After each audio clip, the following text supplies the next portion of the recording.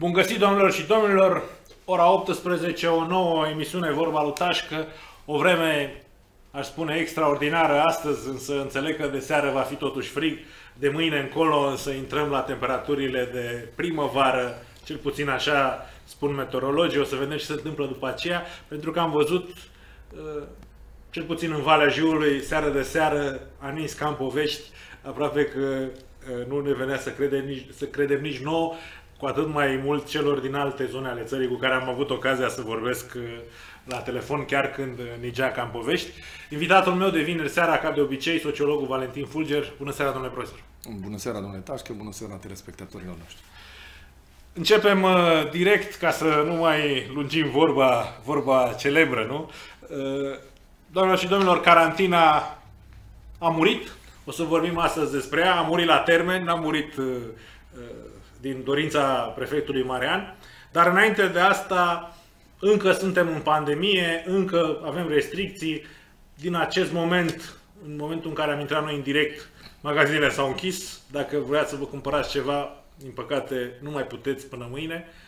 Mai există o soluție, dar cred că nu e neapărat cea mai bună de a cumpăra de pe la benzinărie. Am văzut că în București au fost uh, cozi extraordinar de mari la benzinării și evident au făcut niște vânzări foarte bune domnul de acolo, dar am o veste bună pentru dumneavoastră, probabil ați auzit.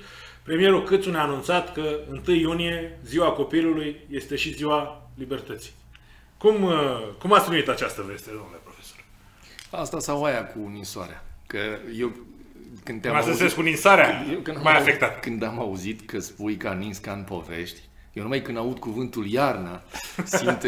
și mă uitam la tine, ce cu tine? Deci Eu știți că eu sunt și schior în timpul liber și de aici, de aici mi se trage... am eu rugămintea asta să nu mai pronunț cuvântul ăsta niciodată când ești Schior. de față. Nu, nu, nu, iarnă. Deci când am văzut ce este afară, m-am îngrozit și mi-am dat seama că noi nu mai scăpăm de treaba asta.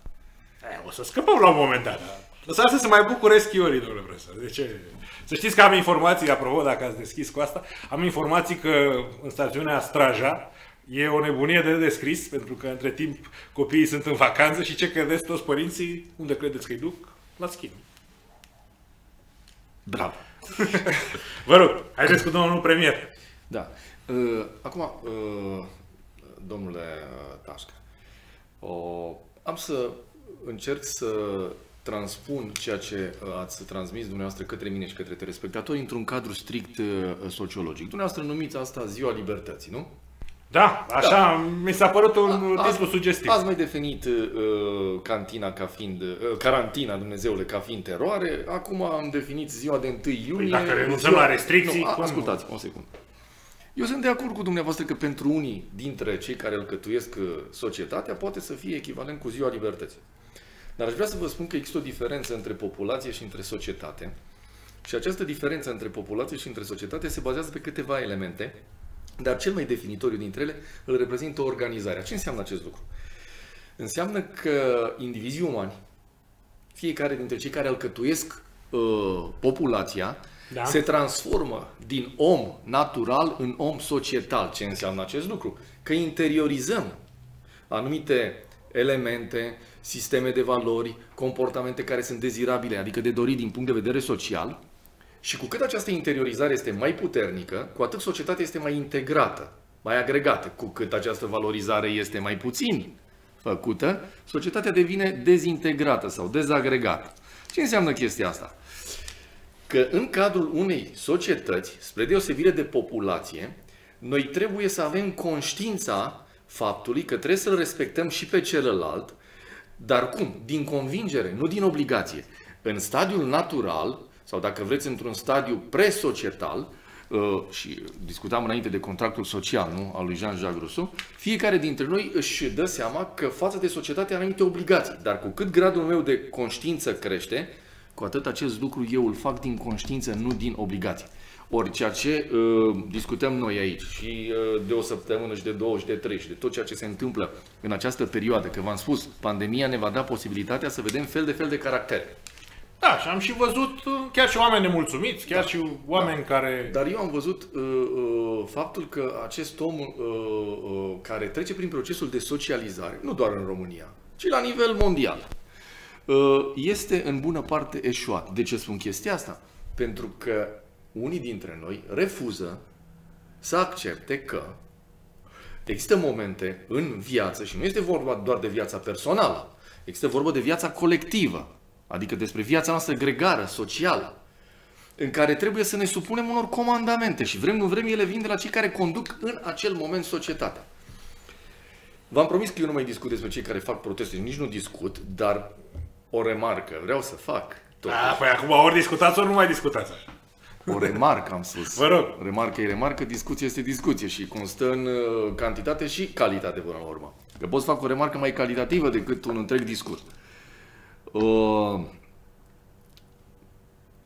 Hai, lasă, Mă bucur că m-am, uh, v-am stârnit uh, această chestiune. Bun, să, am citit un articol într-un uh, cotidian central în care autorul spunea că Câțu, de fapt, prin acest anunț, care a fost lucrat de consilierii dânsului, de fapt și-a, și-a salvat cumva scaunul, pentru că altfel risca să, ca acele mișcări despre care dumneavoastră nu vreți să mai vorbiți, să devină mult mai puternice decât sunt la momentul, sau erau atunci la momentul, pentru că anunțul premierului a venit undeva luni și săptămâna precedentă a fost uh, precedată de un șir uh, întreg de... de...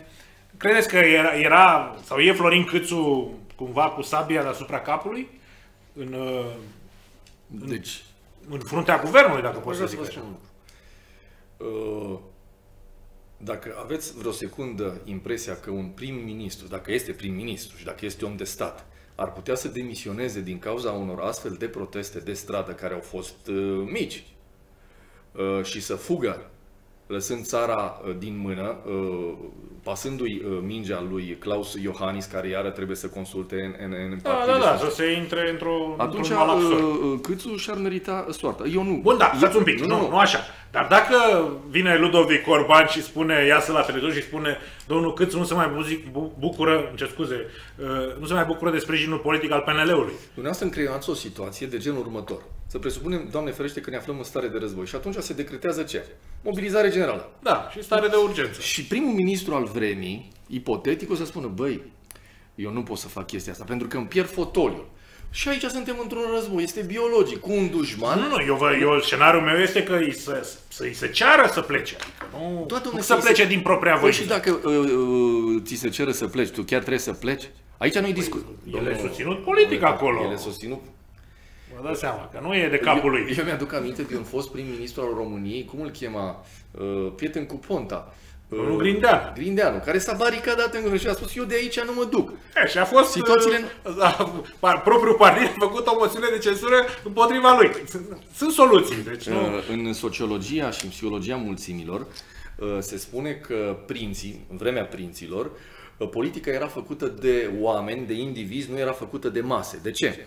Pentru că decidea în funcție de ceea ce era rațional, în ceea ce, sau credea el că este rațional. Masa nu e întotdeauna rațională. Da. Păi dacă ajungem să facem politică după ceea ce dictează strada, să nu vă mirați că mâine ăia care sunt în stradă și au un anumit tip de calitate, o să intre și peste dumneavoastră în casă.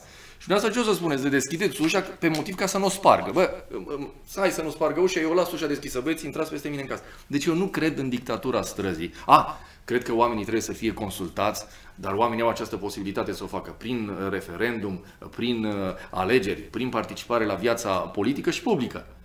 Dar uh, dacă aș fi în situația de a fi un politic, niciodată în viața mea nu aș uh, asculta uh, strada uh, în cazul în care sper convins că strada cere niște măsuri împotriva interesului național. Deci aici discut nu de stradă, ci de națiune. Înainte de a ne întoarce la, la chestiunea cu 1 iunie, ziua libertății, sintagma care atât vă place de mult, domnul Vlad Voiculescu e în aceste zile într-o, într-un malaxor mediatico-politic și chiar am văzut și un titlu pe un alt post de televiziune decât cel care se ocupă uh, mai abitir de domnul Voiculescu, în care spunea că îi se cam clatină scaunul cu privire la ceea ce s-a întâmplat, scandalul ultimelor zile, cu, probabil sunteți la curent, cu îmbrăcarea morților de COVID sau lăsarea lor uh, uh fără haine în uh, simplu sac.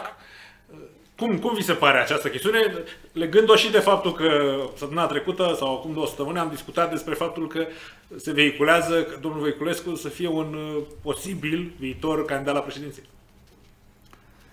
Uh, de nu știu câte ori mi-am exprimat punctul de vedere cu privire la acest domn. Eu mi-aduc aminte odată, da. În primul rând, și în ziar. Mm.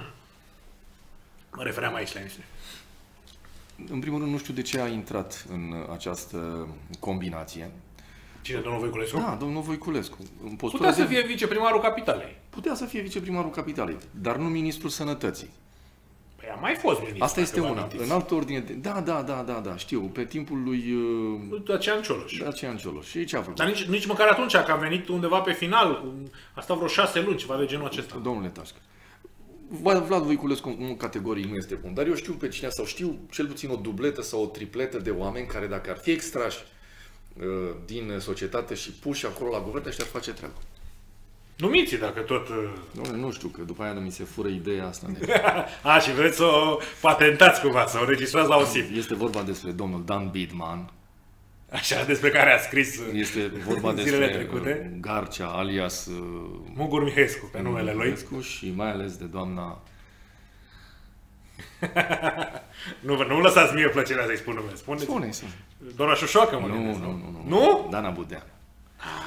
Nu știu că aveți asemenea Nu, preferințe. eu aș fi curios să văd uh, cum ar merge lucrurile dacă cei trei, această tripletă, ar uh, lua uh, decizii și le s-ar implementa. Înainte să ne întoarcem la 1 iunie, să știți că a mai fost odată un, un mare comentator economic pe numele lui Ilie Șerpănescu, pe care îl citea cu plăcere în vremea respectivă. Care a spus că fiecare ziarist își dorește să ajungă prim-ministru. Nu, și a fost pus ministru, ministrul dezvoltării, cred, sau ceva de genul Economiei. ăsta. Economie, așa, și și-a dat cu ăsta și a plecat foarte repede, n-ar putut să facă Da, nimic, deci- pentru că e un, un totul alt sistem, adică nu, nu e uh, ce deci, pare. Sincer, postura de comentator, de analist, este una oarecum, uh, să-i spunem, care te scutește de responsabilități. Adică emiți niște idei, domnule, așa Da. sunt opi- opiniile mele, pentru opinii nu te poate da nimeni în judecat. Și nici procese nu poate să-ți facă. Dar pentru... E, v-ați fi surprins, să știți Dar că eu pe- am un proces pe o, niște opinii, care se va termina curând. Să sperăm că se va termina cu bine. Eu așa sper, rămâneți să vedem acum ce zice doamna judecător. Uh, Eu sunt fer convins că ai dreptate. Vă mulțumesc pentru încredere. Uh, rog. Revenind, revenind. Uh, Este foarte ușor să critici, dar trebuie să te pui și în pielea celorlalți pe care eu sincer nu iubesc. Și știți bine părerea mea despre Partidul Național Liberal, despre USR. Des... Am arătat că există criză de uh, oameni de valoare acolo. Am arătat Aici că mi-acord și eu un merit sunt, că și eu am uh, scris. sunt uh, contradictorii. Am arătat că uh, primează foarte mult interesul personal, nu interesul uh, și interesul lor de grup, de bandă până la urmă. Sigur, sigur, interesul partidului. Da, nu interesul uh, colectiv, adică interesul național. Dar, dar, ca ființe sociale, încă o dată o spun, trebuie să conștientizăm că cineva trebuie să ia aceste decizii. Sigur. Doamna Budeanu, domnul Gâdea, domnul uh, Bidman, alți domni și doamne care sunt foarte vocali, nu au decât să candideze. Nu au decât să candideze. În momentul în care vor fi și aleși, că presupun că vor fi aleși și vor fi susținuți de partidul din care fac parte și vor ajunge într-o poziție decizională, sunt curios să vedem eficiența acestor decizii.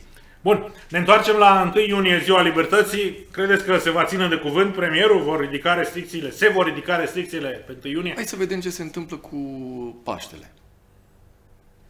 Da, Pentru că Paștele e va mai fi... aproape. Paș... Da, e mult mai aproape. Este Paștele, deci este 1 mai, este 2 mai, adică avem, uh, cum să spun eu, un șir de zile din astea care se leagă Libere. unele după alta. Uh, În mod categoric nu se va respecta nicio regulă, nici de distanțare, nici de, uh, cum se Va spune, merge lumea la mare, va face petreceri. Doamne, deci eu vă spun. Uh, am început uh, această pandemie prin a vă spune într-o uh, intervenție telefonică, dacă mi-aduc aminte, să nu ne tot văităm atât, pentru că generațiile de dinaintea noastră, generațiile bunicilor și străbunicilor noștri, au dus două războaie mondiale, au dus comunismul. Au uh, în dus spate. pandemia de gripă spaniolă. Așa. Și totuși, uh, cum să vă explic, uh, au uh, mers mai departe și n-am auzit atâtea vaete. Am dat atunci un exemplu al unui uh, bun prieten de al meu, părintele Moise, care a scris o carte despre ceea ce s-a întâmplat în Basarabia intitulată Să nu ne răzbunați Și cei care au fost deportați, cei care au fost duși în gulagul sovietic de acolo, au spus, domne, am suferit ani de zile, mi-am aruncat copilul mort din tren pentru că începuse să miroase și uh, am, am făcut toate sacrificiile posibile. Iar când s-au întors înapoi în Basarabia și au dat aceste interviuri după 10 de ani de zile, au spus să nu ne răzbunați. Adică au dobândit o conștiință superioară. Știu, pare absolut iluzoriu să spui cum să nu mă răzbun. Dar uh, Astea sunt uh, uh, situații și situații prin care trebuie să trecem. Și vă spun... Vă rog, ultimul a, cuvânt că am depășit. Asta este diferența între pulsiunile de natură instinctuală și deciziile de natură rațională. Chiar dacă nu-mi place un anumit lucru și că auzeam o doamnă Carmen Tănase pe care o spune, unde este instinctul nostru de autoconservare și instinctele noastre de libertate? Păi tocmai asta face diferența între omul natural, adică omul naturii, și omul uh, societal trecut prin socializare, pentru că ia decizii uh, raționale. Bun, închidem cu aceast, acest prim punct. 1 iunie, ziua libertății, doamnelor și domnilor, aștept cu nerăbdare să vină și acel moment, însă tu aștepți și... că vine ziua copilului, lasă că Da, da, da, păi aștept și nu vreau să spun doar că depinde foarte mult din ce am uh, înțeles uh, de câți dintre noi vom fi vaccinați până în acel moment. Eu acum vorbeam cu domnul profesor înainte de emisiune, chiar mâine dimineață voi fi uh, unul dintre cei care se va vaccina și voi trece în, uh, nu știu, cei 2 milioane, cred că sunt până acum, de oameni care, de cetățeni români care s-au vaccinat. Închidem aici și mai discutăm cu siguranță până, până în Paște despre acest lucru. V-am promis încă de săptămâna trecută, doamnelor și domnilor, că vom uh, desface pe toate părțile un exercițiu de comunicare pe care l-am întins celor de la Insemex. Nu l-am întins ca pe o capcană, uh, nici de cum, dar o să vedeți că răspunsul pe care dânsii mi l-au trimis, e vorba de domnul Găman și de domnul jurist uh, Florin Manea, uh, este cel puțin jignitor, dacă nu, nu știu, bajocoritor, care e? Ce, aș, ce, ce spune? Dumneavoastră l-ați văzut, vi l-am trimis. Ce, ce părere aveți despre acest răspuns? Și o să, o să vedeți, doamnă și domnul, colegii mei vor pune pe ecran atât ceea ce am cerut, ca orice jurnalist uh, dintr-o țară europeană și ceea ce am primit, ca să vă puteți face uh, singuri o părere, dar cu siguranță vom, uh, vom desface pe toate părțile ceea ce ne-au răspuns domnii de la internet. Vă rog. Vreau să citesc din, din Sigur, da, dacă citiți dumneavoastră, da, că eu l-am mai citit și l-am mai citit de mai multe ori și nu prea am înțeles. În primul rând, dumneavoastră sunteți ușor nerecunoscător. Da, sunt un tip uh, ascultați-mă. ingrat. Așa, deci, uh, cei doi domni încă vă anunță de la bun început următorul lucru. Referitor la solicitarea dumneavoastră, etc., etc., vă comunicăm următoarele. Solicitarea deși... este pe ecran, doamnelor și domnilor, puteți vedea ce am întrebat. Deși INSEMEX nu este instituție publică, așa cum este definit în legea 544 pe 2001 actualizată, prin urmare, neaplicându-i se prevederile acestea, în spiritul transparenței de care am dat dovadă, cu orice ocazie, vă informăm că răspunsurile la lista noastră de întrebări sunt deja publicate pe site-ul Institutului. Pentru a vă facilita activitatea de documentare jurnalistică, vă dau mai în jos câteva repere. Primul lucru pe care l-au făcut, întinzându-vă la rândul lor o mână, Foarte este că au da. spus că au dat dovadă de transparență. Numai că uh, v-aș fi uh, Uh, acuzat total pe dumneavoastră. Da, da, da, sunt foarte atent. Mai ales că uh, uh, uh, sfârșitul uh, acestei, uh, epilogul acestei uh, adrese uh, sună în felul următor. În situația în care institutul nu ar fi fost angrenat într-un număr foarte mare de lucrări, CDI, da raportat la numărul redus de personal și având în vedere numărul foarte mare de întrebări adresate, adică puse de dumneavoastră, 13. pentru o perioadă de timp ce excedează chiar și perioada legală de arhivare a unora dintre documente, ar fi existat posibilitatea formulării unor răspunsuri punctuale, facilitându-vă astfel de mersul specific documentării jurnaliste. Și la sfârșit vă și asigură Dorindu-vă mult succes în viitoarele demersuri jurnaliste de deservire a interesului public, vă asigurăm și în continuare de întreaga noastră disponibilitate. Doar că dânsii fac o greșeală. Ele Aș zice chiar mai multe, da? Nu, nu, nu. Eu vă spun greșeala care mi-a sărit mie uh, în ochi.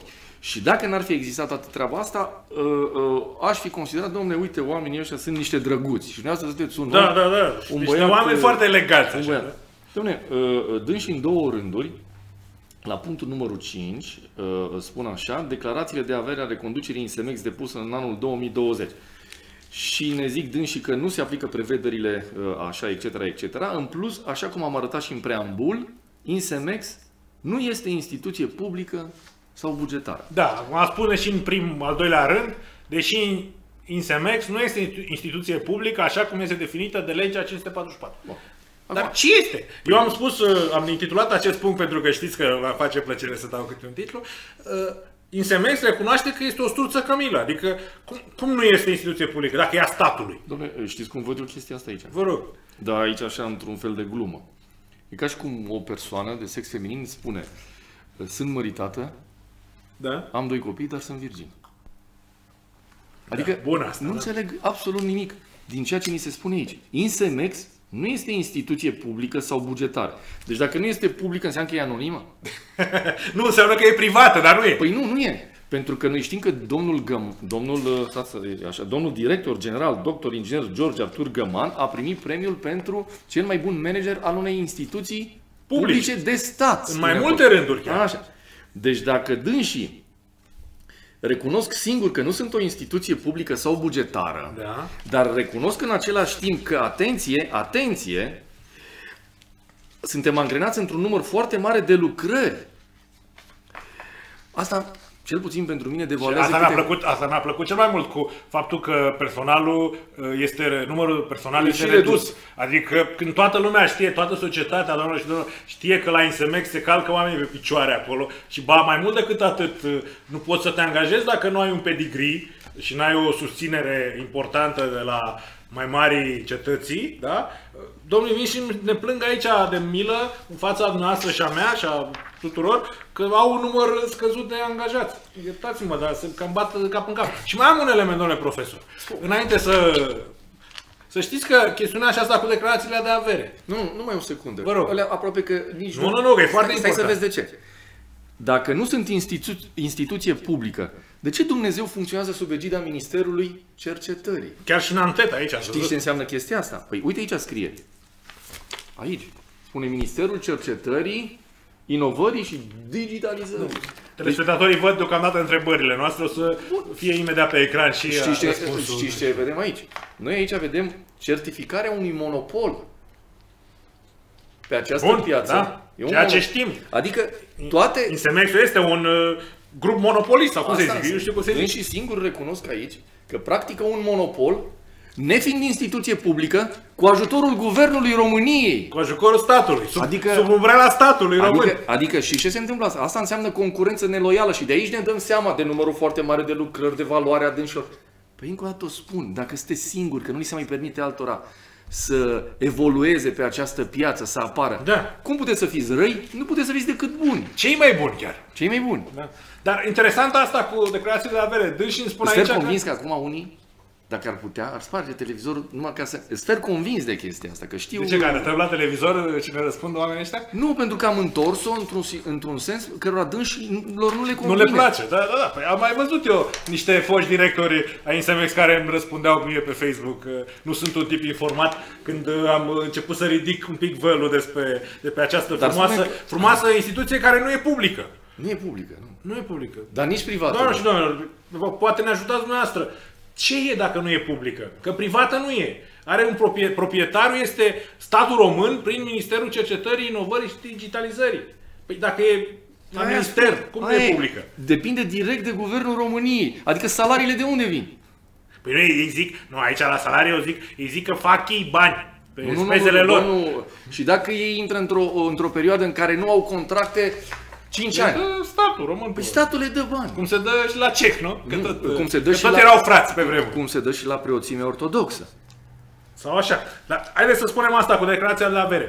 Deci domnul Găman, sub uh, pixul domnului jurist Manea, îmi spun mie aici, doamnelor și domnilor, că declarațiile de avere ale conducerii, pentru că am cerut să mi se ofere declarațiile uh, de avere, pentru că nu există uh, declarații de avere uh, după anul 2019, cred, ceea ce prezintă date din anul 2018, nu se aplică prevederile legii. Deși pe, pe site-ul Insemex există declarații de avere, nu numai ale conducerii, ale întregului colectiv, până la momentul acela. Dar ce să vedeți, nu se aplică uh, legea. Adică oamenii ăștia, până la urmă, uh, mie mi se pare că au ceva de ascuns. Adică cum, uh, declarația mea de avere este publică până în 2019 și nu mai este publică din 2020 pentru că nu vreau eu? Pentru că nu sunt instituție publică. Pentru că nu sunt instituție publică, da. Și pentru că uh, nu, deci, nu se aplică deci, legea. Dacă nouă nu ni se explică chestia asta, cum adică o instituție privată? Că asta te duc de aici. Păi nu e privat. Păi, de, asta, păi dând și spun că nu sunt publici. Păi nu sunt publici, dar nu sunt nici privați. Păi da, da, domne, dar vă dați seama. Nu, ei sunt că ăia, struț o cămila aia. Nu, nu știu, eu, care... am, eu am mai spus că este Insemex sau elefantul fără trompă. Și dacă ți-ai pierdut trompa, înseamnă că acționează pompa. M-ați înțeles? Da. Păi asta, doamne și domnilor, poate ne ajutați sau poate ne elucidăm împreună. Ce e, domnule Insemex? Eu aș fi curios ce face domnul uh, ministru Teleman, nu? Da, nu, Tele... face că plouă, ce să facă? Nu, nu știu ce face, stăm pe bușoi, nu știu, pe spate, pe burtă sau în ciuci. Înțelegi? Ba da, că bănuiesc că ciuci. Și l-am văzut pe domnul Teleman într-o emisiune televizată și la care oamenii întrebau, domne, ministerul se numește și al digitalizării. Da, da, da. Și spuneau, domne, dar haideți, cum facem cu digitalizarea? Și domnul... Paradoxal, cu asta, digitalizarea asta, ăștia, deși fac parte din ministerul ăsta al digitalizării, am înțeles că au făcut apel la o firmă privată să le facă digitalizare. Să le facă arhivarea. Dar nu se poate chestia asta. e, cum să nu? Da? Se poate? Deci, se poate orice, știți cum e în, în România. Și domnul uh, ministru dădea un singur răspuns. Oamenii îl întrebau, erau doi ziariști foarte buni și îl întrebau, domne, hai că vedem cum e cu digitalizarea, de când începem, cum începem, cum facem. Și domnul ministru spunea ca un castofon stricat, uh, digitalizarea nu este apanajul unei singure instituții. Oamenii mai insistau, mai ziceau, digitalizarea nu este apanajul unei singure instituții. Păi poate nu prinse voie de la După 5 minute, iară mai întrebau oamenii. Dom'le, nu ia apanajul unei singure instituții. Deci am rămas foarte costet, așa că nu mă aștept ca domnul Telema să facă lumină în ce INSMX, dar ce să zic, poate o să-l întrebăm și pe dânsul, poate ne dă dânsul un răspuns, deși am uh, uh, întrebat de unăzi câte ceva pe la Ministerul Cercetării și să știți că domnul ministru nu s-a obosit să răspundă, a pus un secretar de stat care mi-a trimis un răspuns așa, în sensul că mm, e bine că afară e soare, dar dacă mai și ninge, nu e rău. Deci eu sunt convins că s-ar găsi suficient de mulți isteți, bineînțeles pe bani mulți, care să ne explice, domne, uite cum nu este instituție publică și bugetară. Pentru că legea 544 pe 2001 actualizată, domne, stați un pic, legea 544 pe 2001 prevede accesul la liberă informație, da? Informații de interes public. Păi da, dar el nu prevede că nu este ăsta uh, Insemex-ul uh, uh, instituție Și, și dacă publică. nu e instituție publică, totuși de ce furnizează uh, aceste linkuri? Apropo, doamne și domnilor, foarte important. Da, domnule, uite, dumneavoastră vedeți aici o chestie. Mie îmi place un cuvânt fantastic aici. În, în, în, uh, aici, acum, telespectatorii văd pe ecran, uh, cred că ce-au răspuns acești cetățeni. Vă rog. Este Institutul Național de Cercetare Dezvoltare pentru Securitate. Și vă opriți aici. Nu, uh, minieră și protecție, nu știu. Dar spuneți-mi și mie, securitate minieră, ce mine mai are uh, România? Oamenii mai sunt trebui... vreo câteva, cred. Nu, domnule, ăștia sunt pe închide. Toate, totul. Oamenii ăștia ar trebui să-și schimbe inclusiv denumirea. Păi nu, de ce? Că nu interesează, dacă păi ei nu, nu sunt instituții. Domnule, să taie minieră și rămâne și numai securitate și protecție. pentru securitate. Haide și protecție, vă rog eu, ca să sune mai bine. Da, și protecție. Da, doamnelor și domnilor, înainte de a închide acest uh, suculent subiect asupra căruia voi, voi mai reveni și înscris și cât și aici la emisiune, trebuie să știți că, bineînțeles că oamenii ăștia nu mi-au furnizat niciun fel de document, deși obligația legală era să furnizeze aceste documente, mi-au pus niște linkuri pe care, din păcate, nici nu pot să le accesez, pentru că mi-au trimis documentul în format PDF. Adică, cum ar veni, m-au luat la mișto. Așa că iau și eu la mișto. Ce notă se dă, domnule profesor, ce notă dați dumneavoastră unui student care vă ia la mișto, la curs?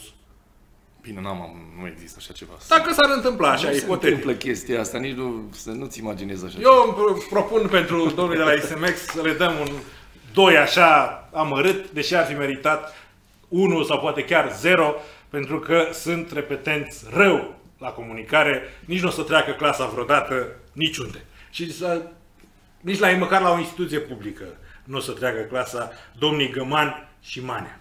Am închis acest uh, subiect, uh, din păcate ne-am uh, impacientat, era să zic, ne-am înfierbântat și am depășit puțin timpul alocat acestui subiect, dar cu siguranță vom mai avea ocazia să îl dezbatem. Doamne și domnilor, Petroșanu a fost în carantină, a venit însuși prefectul Marean să ne spună cum va scoate el Petroșanu din carantină, cum și-a elucidat uh, dilemele și tot felul de lucruri din astea ieșite din orice minte uh, normală După care, ce credeți că s-a întâmplat? Nu s-a întâmplat nimic. Aveți aici imagini de la conferința de presă unde a făcut acest anunț.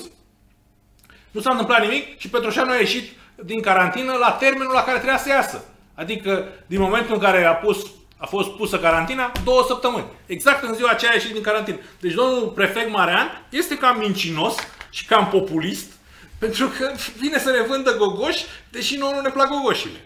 E adevărat, domnule profesor? Mie îmi plac gogoșile. Dar nu cele ale domnului Marean, sunt convins. Nu, nu, uh, uite, acum eu văd că omul ăsta te cam bântuie. Da, nu, da, Deci, deci, vă rog scurt că am depășit și nu vreau să Nu, sistem. uh, da, din acest Că nici deja nici mai pot să-i văd fața, că Moment, așa. m-a plictisit. Deci dânsul a făcut un exercițiu de uh, Imagine? Da. Prost! Nu știu. De Nu. ce? E cu primarul. Păi da, da, s-a dovedit că a mințit. A ieșit cu doamna Vetuța. Da. Uh. Lipsește, lipsește, zice senatorii Lucica și Vasilica și garnitura era completă. Dar ce să fac? Că așa îi cheamă pe oameni. Tu m-am acuz mereu că eu sunt rău. Da, și dumneavoastră pe mine câteodată. Păi nu, se dovedește exact contrariul, că eu sunt bun și tu ești rău. Pentru Astăzi că de sunteți fiecare bun, mă dată... Face, mă face perfectul Marian. Eu cred că el suspectați de eleganță, făcându-l așa la costum și la... Dar da, l-ați auzit vorbind pe prefectul Marian? Nu, n-am... N-am... Nu, dar n-am vedeți, vedeți dacă nu aveți Facebook. Eu v-am spus să vă faceți. Deci, uh, Umberto Eco Da? spune despre internet și după asta, prin prelungire, poți să spui despre Facebook, că internetul a dat posibilitatea tuturor idioților să se exprime în public.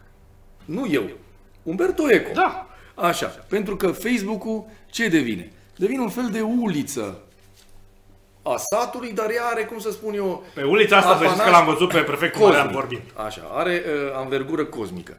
Uh, Nu uh, trebuie uh, Facebook pentru că nu vreau să strig Nu vreți să-l uh, și auziți nu vreau pe să mă prefect. văd pe uh, ulița uh, respectiv. Nu, dar e un consum de energie inutil, uh, e cronofag uh, și alte Bun, dar cum, cum, ca să simplificăm. Deci, eu vin anunț, Hai, fac- că să-ți fac- răspund. fac Dacă conferință tot de tragi de, presă. mine așa, hai ca să-ți răspund. Da, da, răspund, dar mă, mă holiți așa și mie știți că nu-mi place. Vedeți că și la ISMX uh, uh, sunt uh, supărat că nu mi-au răspuns.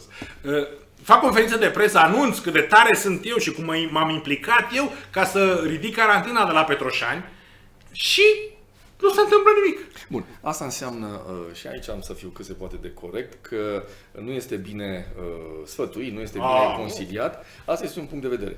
Doi, chiar dacă nu ai consilieri, chiar dacă nu ai sfătuitori, chiar dacă nu ai- ai oameni de partid care să transmită către tine cele necesare, personal ai putea să te gândești, domne, pot să afirm ceva că fac și eu știu clar că nu pot să fac, pentru că aici uh, carantina are niște uh, limite caracter medical, adică uh, ea este să impusă scadă pe o până perioadă. la un da, punct da, da, și și așa chiar mai dacă departe. scade, am înțeles că nu se poate ieși din uh, perioada respectivă. Este clar că a agafat.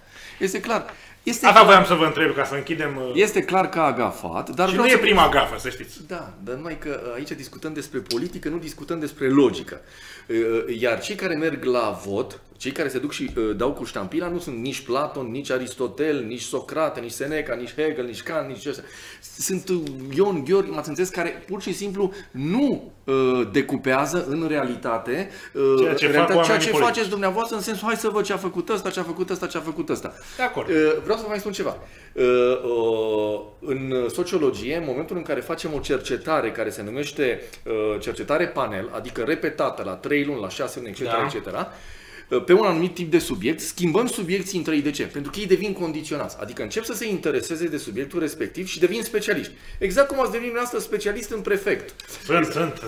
Mă, vă mulțumesc și o iau ca pe un compliment. Dar în același timp aș vrea să vă arăt că modul în care dumneavoastră sunteți specialist nu are reflecție în De realitate. acord, pentru că de acord cu oamenii nu dumneavoastră. sunt Și domnul prefect nici măcar n-a fost ales, că nu cred că uh, votați interesat. exact. Uite, n-a avut nici măcar uh, uh, reflectare în interiorul meu pentru că nu m-a interesat de acest domn. Nu, nu, eu îl urmăresc pentru că mi se pare că a dus funcția asta de prefect sub ceea ce a lăsat-o Vasilică Potecă, dacă se putea mai rău de atâta. Uite că domnul ăsta a reușit și eu sancționez și acum și am sancționat întotdeauna dorința dânsului de a-și face imagine cu orice preț. Deci orice, dacă, dacă uh, se stinge un uh, reflector aici la Capital TV, domnul prefect va spune că uh, el va veni și îl va aprinde din nou.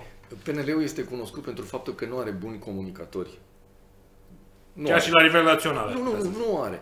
Pentru că la gafele pe care le-au făcut în trecut, când erau pesediștii uh, și dominau și Parlamentul și aveau guvernul de partea lor, Da. dacă ar fi avut 10 comunicatori buni care să fie ieșit la televiziuni, Câștigau singuri 50%. ei ce au făcut? I-au dat ordin, nu mai ieșiți la televiziuni, nu mai ieșiți mai ales la televiziunile care ne critică. Ba, asta este Acolo principiul. te duci prima Acolo dată, trebuie să da? mă duc. Da, da, da. Adică eu nu trebuie să merg pe principiul verificării și confirmării. Bă, mă duc exact acolo, la publicul meu care mă votează. Nu! Trebuie să mă duc exact la publicul ăla care nu mă votează, ca să le bag și la aia în cap ideile mele. m-ați Da, da, înțeles? da, și să le arăt că sunt bun. Și în momentul în care e un acasă care face zacuscă sau dulceață și aude ce spun eu, o să zic acasă că ăștia, un studiu american arată foarte clar. Cel mai bun generator de opinie, factor de opinie, cine este? Este pensionara, este mama de familie, este casnica. Nu sunt televiziunile. Tele, televiziunile nu fac decât să întărească ceea ce deja există în mintea ta. Mă Să înțelegi? sedimenteze. Da. Da, închidem cu prefectul Marean, sper că e ultima dată când mai vorbim despre el, pentru că m-am plictisit și eu, dar, din păcate, gafele Nu, stai că fără de sfârșit, M-am, m-am început eu să mă aprind, deci nu cred că renunțăm chiar așa ușor. gafele fără de sfârșit ale prefectului mă aduc tot timpul la persoana lui, deși nu îmi face absolut nicio plăcere, mai ales că săptămâna trecută, chiar aici, în acest studio, am avut ocazia să-l audiem împreună cu domnul profesor, care nu-și mai aduce aminte, dar am fost efectiv șocat de modul în care un reprezentant al guvernului în teritoriu vorbește. Vă rog. Mai în vârstă, zi mai tare, ce ai zis? Doamne și domnilor, penultimul punct de astăzi, încă un cetățean de onoare va ajunge la pușcărie.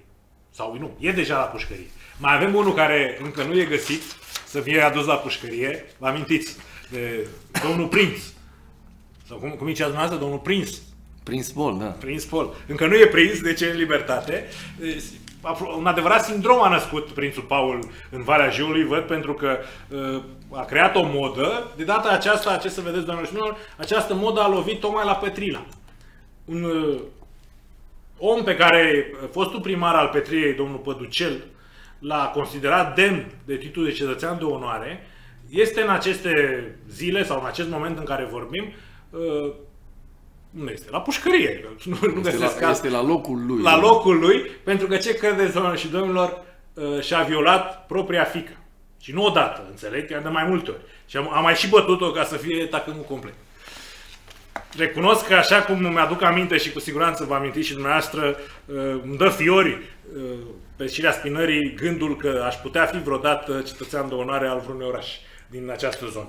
Am refuzat și sper să s-a notat acolo unde se discută acest lucru. Și culmea, domnule profesor, să știți că mi-aduc aminte acum de un alt prieten al noastră, uh, domnul acesta de la Petrina n-a fost propus de domnul Butulescu.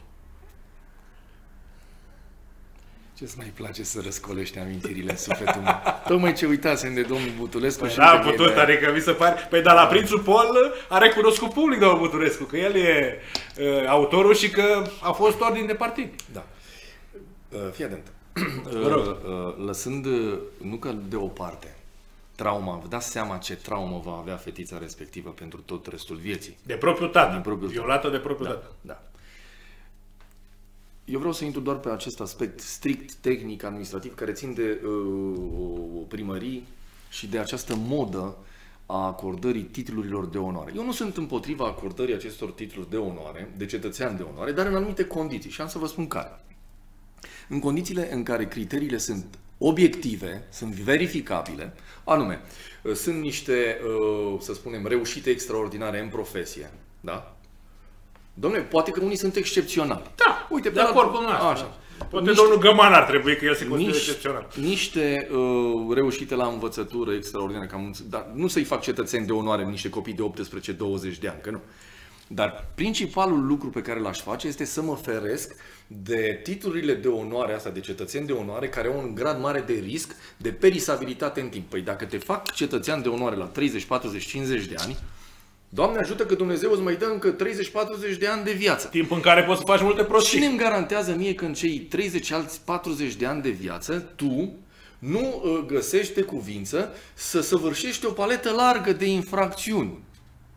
Ceea ce uh, atrage asupra mea, ca și administrație, ca și Consiliul Local, Comunitatea. ca și comunitate, un penibil total. De aceea eu vă spun, aș acorda aceste titluri, Post-mortem, mi-amintesc. Odată că post-mortem, pentru cei care, domne, uite, în timpul vieții, poate că nu l-am onorat atât de bine, dar acum îl redescoperim, cum face, uh, cum îi spune uh, consilierul, fostul consilier local Șchiopul la Vulcan cu Pius Brânzeu. Așa. Dar, domnule, numai după 75 de ani. De ce? Pentru că eu zic că după 75 de Nu ani... mai ai posibilitatea să faci nu cred că te infracțiuni. mai apuci de infracțiuni, m-ați înțeles? Adică ești un om așezat, ești bunic, străbunic, etc. Dar în altă ordine de idei, într-un caz ipotetic, e absolut imaginar, în care aș ajunge primar, dar tu știi că eu nu vreau. Da, Dar dar primar, liniștiți-vă, nu vreau. Uh, aș, di- una dintre primele măsuri ar fi aceea de a înființa o comisie care să ia la verificat absolut toate aceste titluri de onoare. Să vedem care au fost criteriile. Pentru că eu cred, câți cetățeni de onoare crezi că are Petrila? nu știu de Petrina, nu știu de Petroșan, de eu, Petroșanu are mulți, să vă spun eu sigur. E câți are o Petrila? cărțulie. Sute. Petrila? Nu, Petroșan. Petrila are și ea câteva zeci, probabil. Știți în general cum s-au făcut cetățenii ăștia de onoare și la nivel de țară? Pe prietenii. Pe prietenii, pe ordine politice. Pe prietenii, pe ordine politice, exact cum ne-a spus uh, bunicul nostru, Bunicul nostru, da, da, da. domnul Butulescu. Uh, Da, deci uh, moda asta trebuie să se uh, oprească, zic eu. E, e primarul Păducel, fostul primar Păducel vinovat? Știți ce a scris acolo Moral. în motivarea uh, proiectului propus? Pentru A spus omenie. Pentru omenie și spirit de nu știu ce. Uh, Da, am înțeles că un, un copil Da. de al dânsului a murit într-un accident și uh, acest cetățean care Ar nici, fi nici nu donat- știm numele, da, a donat organele și evident organele acelea au fost salvat alte vieți.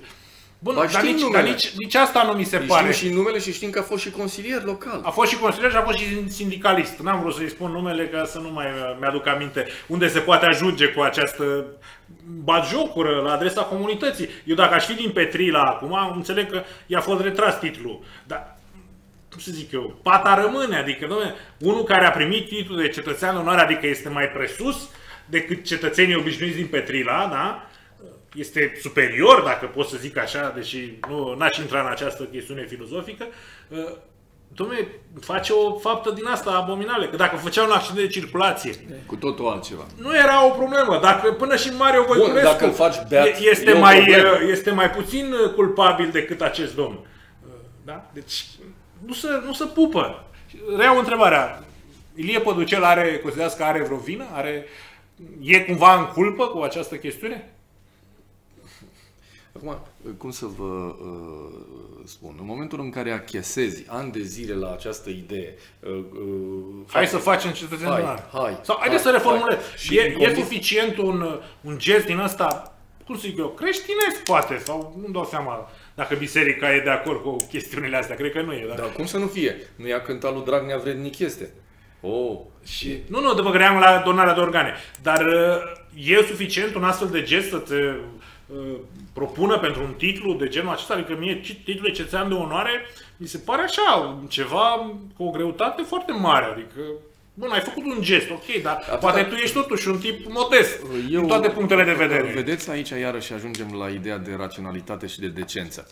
Dacă uh, ai norocul să locuiești, uh, să domiciliezi într-o zonă în care primarul, în care Consiliul Local este dominat de indivizi uh, rațional, decenți, care spun întrebări, Da. uh, domne, pentru ce să-l facem pe ăsta sau pe ăla al cetățean de onoare, uh, atunci, categoric, Dar știți că acum- vei avea foarte puțini cetățeni de onoare în orașul sau în zona uh, respectivă. Dar dacă uh, ăia spun, bă, noi vrem să facem cetățean de onoare pe ăsta, în contrapartidă, știți, îl facem să-l faci noi și tu pe al meu. Exact așa s-au procedat ani de zile. Ce mi-a plăcut la bunicul noastră, dacă pot să Nu, zic nu, așa. al nostru, Al că nostru, da. ne-a spus Să la ne-l amândoi asumăm povești, împreună, deci, da? nu, Așa. uh, Domnul Butrescu mi-a plăcut și confirm și eu, pentru că, în general, toate proiectele, doamnelor și domnilor, care se votează în Consiliul Local, trec așa, cum să vă spun eu, ca gâsca prin apă. Adică se ridică mâna la unison, așa. Uh, Ce e proiect? E proiectul să acordăm titlul de cetățean uh, domnului violator. Toată lumea de acord, da, toată lumea pentru. Nu, nu se opune nimeni, nu are nimeni discuții. Nu, e ceva, cum să vă spun, un spectacol absolut oribil. Uh, Și mi-amintesc foarte bine anii în care participam la astfel de, de ședințe de Consiliul Local. Este ceva grotesc. Adică, cum să n-ai opinie? Până la urmă, oamenii te-au ales, sau mai ales dacă ești dintr-un alt partid decât uh, majoritatea, să, să ai o opinie diferită de primarul în funcție și de majoritate, nu?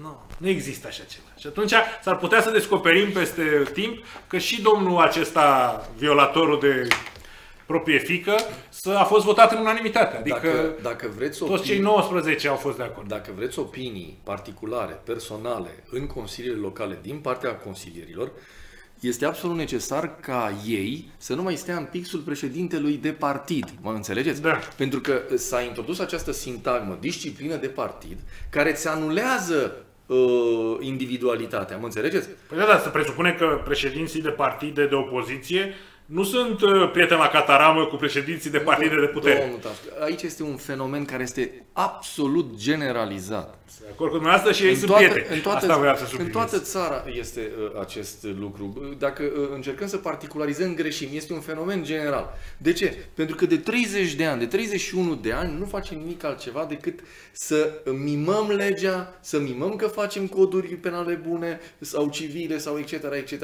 În țara asta totul a fost o făcătură. Făcături care, doamnelor și domnilor, uitați, pun comunități întregi de oameni, în mare parte onorabili, care să fie reprezentați, a căror onoare să fie reperată de astfel de indivizi. Ultimele, ultimele minute din această emisiune, doamnelor și domnilor, și am constatat cu neplăcută surpriză din nou că fie că vorbim de luna decembrie, fie că vorbim de luna ianuarie, fie că vorbim de luna februarie, ba chiar și că vorbim de luna aprilie, doamnelor și domnilor, autoritățile sunt surprinse de iarnă. Mi-e pune putință să înțeleg acest lucru, pentru că uitați, aveți imagini pe ecran ce a fost în dealul Melișorului acum câteva zile când, ce să vedeți, a nins. Au rămas mașinile blocate, șoferii înjurând printre dinți pe acolo și așa mai departe. Ce ziceți, domnule profesor? Domnule Tașcă, deci uh, una este să ningă în ianuarie, în februarie, în decembrie și alta e să ningă în aprilie. Hai să fim... uh, De acord, așa. dar parcă totuși Eu sunt te ia prin supărat dacă surprindere- sunt, sunt surprins și în decembrie. Dar nu asta mă surprinde acum pe mine. Știți ce mă surprinde Vă cel mai? rog, nu. Am spus înainte că tot ce s-a întâmplat în țara asta a fost o făcătură. Inclusiv legea asta a obligativității cauciucurilor de iarnă este o făcătură. Și știu, o să spuneți de ce, nu e bine. Că e până la 30 martie sau cum? Nu, domne.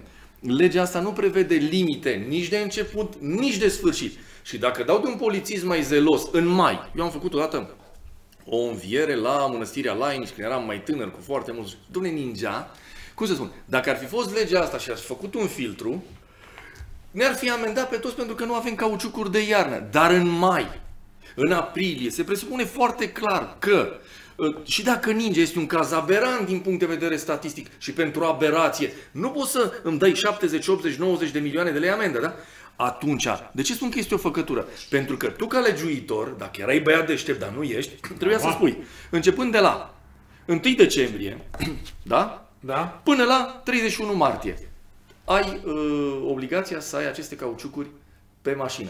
Dacă nu le ai în această perioadă, te amendezi. Dar dacă ești în 9 aprilie sau în 6 aprilie și a nins și eu am cauciucurile de vară pentru că am considerat, bă, este în regulă.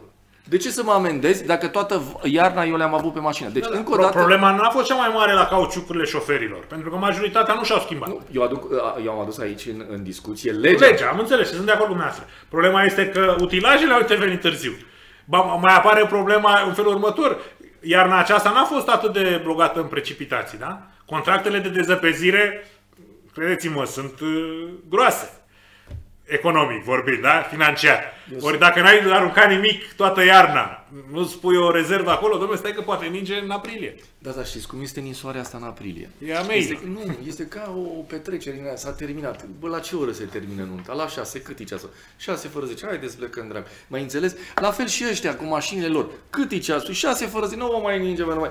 Pricepeți? A, a fost o imagine extraordinară, doamnelor și domnilor. Un utilaj din ăsta de zăpezire a fost parcat undeva la Băcia, pe drumul național, și a stat acolo câteva zile, după care niște tineri întreprinzători, sau mai puțin tineri, l-au lăsat fără roți. și când a nins, cineva, dacă ar fi vrut să pornească cu acel utilaj să dezăpezească, N-a fă, n-ar fi fost cu putință pentru că, ce să vedeți, nu, va, nu, va mai, nu mai avea roți.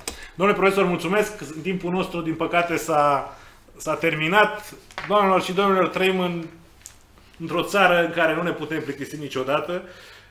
Din păcate, aș spune asta, dar să sperăm că va veni și vremea în care lucrurile vor merge mai lin așa și nu vom avea, avea nici cetățeni de onoare care fac astfel de lucruri și nici șefi de instituții nepublice care răspund în doi peri la întrebările jurnaliștilor. Vă mulțumesc, o seară frumoasă!